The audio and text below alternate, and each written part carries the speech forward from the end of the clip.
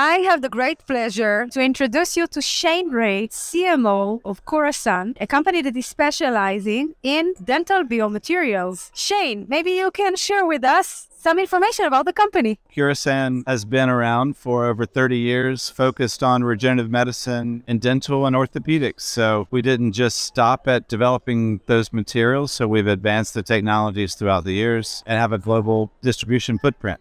So our main advantage for products has always been to mimic human bone. It's difficult to create a synthetic version of human bone, but our engineers and our scientists have been very good at that. And uh, we're seeing that it's being appreciated by the doctors and the patients because they're seeing good results. Can you please share with us what are the leading dental trends in the dental biomaterial category? What you're seeing now is composite materials, things not only just the granules, because that's what was around for 30 years, but now it's all about usability. Now it's all about um, being able to easily treat the patient so they can move on to the next patient. You'll see collagen materials and you also see beta tricalcium phosphate together, very similar to our foam products that we have. And then also we have internal development programs, just like a lot of companies as well, but in healing. So you want it to more than just grow bone, but you want it to heal naturally as well. So we've seen a lot of advances with that with the collagen that we use and also some of the products that we're developing for cellular products as well. Shane, I want to ask you something. We know that many dentists are using bone graft materials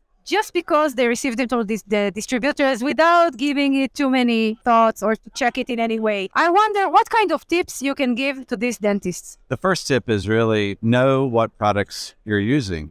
Understand what the quality is, understand the history of the product, understand the clinical data, understand the benefit to the patient. There's so many different products that are out there and available. You should absolutely know which one you're using. Some products are designed to go away quickly. Some products are designed to stay around and it based on the clinical indication. Again, also understand what you want the bone graft to do for you. Not all bone grafts behave the same.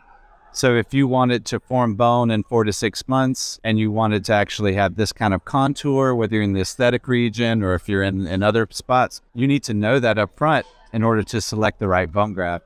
Thank you again, Shane. We're sharing all this insight with us today. Thank you. Appreciate you being here with the IDS and working with us as a company. So thank you. Also, uh, heard you're the wizard of Osi, and uh, we have a product very similar called Osbone. And uh, for the right price, might be able to get you some Osbone as well. So uh, make you the wizard of Osbone.